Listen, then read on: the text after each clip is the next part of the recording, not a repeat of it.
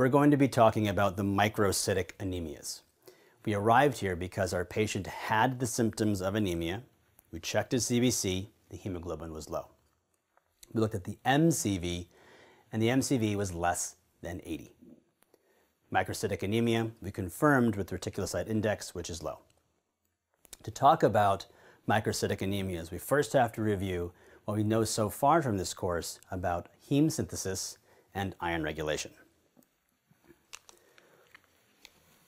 Normal adult hemoglobin consists of two alpha chains and two beta chains, forming a tetramer.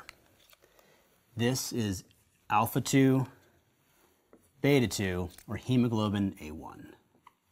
We're going to represent that by two blue circles and two empty green circles because we're going to combine those this four globin structure.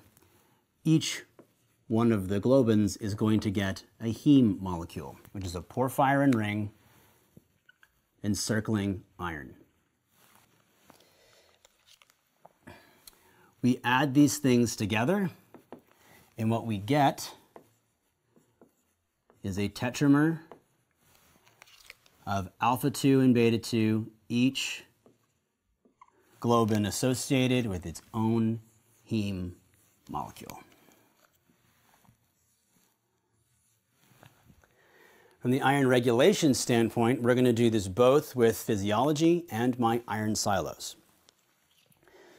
Iron regulation physiology begins with the duodenal enterocyte. It has on it a transporter called ferroportin, which allows iron that has been pulled in from the diet into the bloodstream.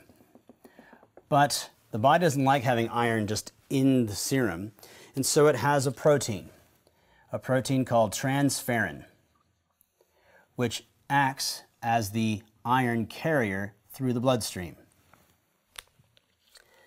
Each of these seats can house an iron. And through the blood, transferrin, the iron transport protein, sends iron to tissues. The liver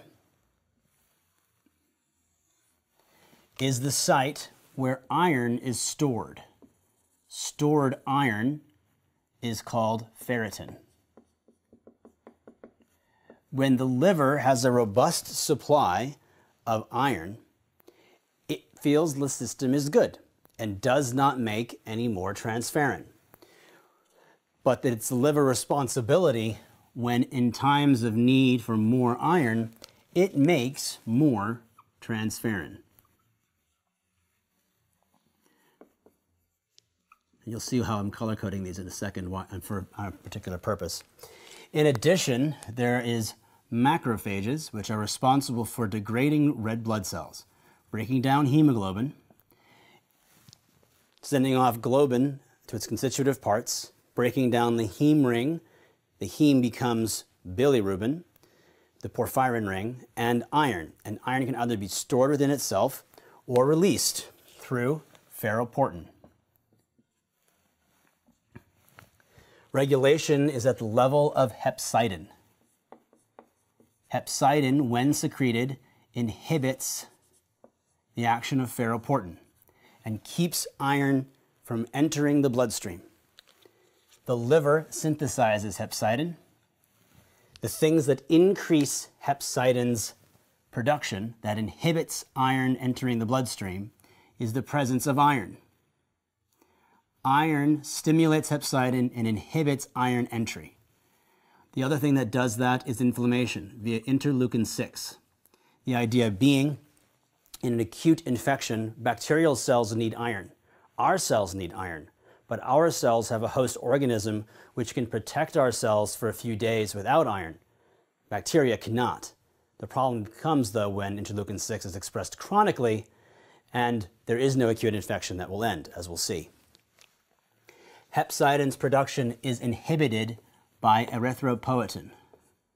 When the kidney says, make me some more red blood cells, it, those red blood cells are going to need hemoglobin and need iron, so EPO turns off hepcidin.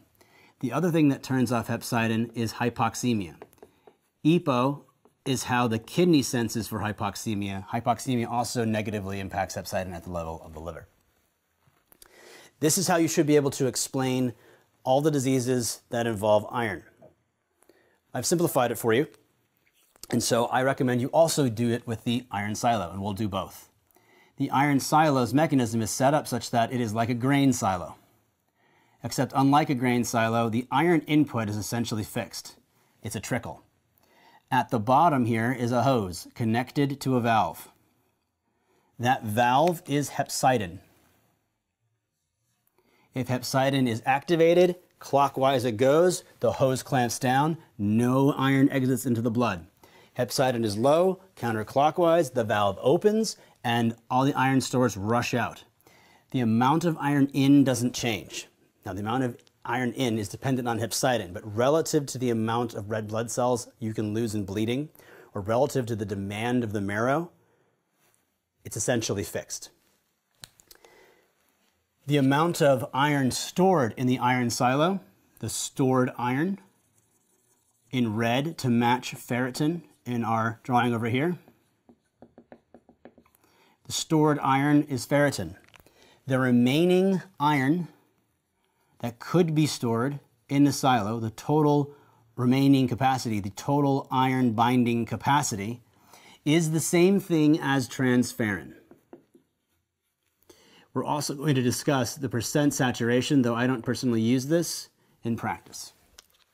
And this is not percent saturation of hemoglobin by oxygen, it's a percent saturation of transferrin by iron.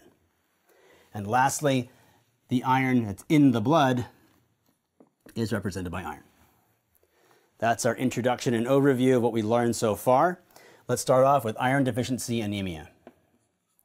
In iron deficiency anemia, there is an increased demand for erythropoiesis beyond what the intake of iron can sustain. This comes in the form of chronic slow bleeds. Now, this is not acute hemorrhage that result in reticulocytosis. The patient doesn't know there's a problem until they run out of iron. The other thing that can cause this is increased demand for erythropoiesis.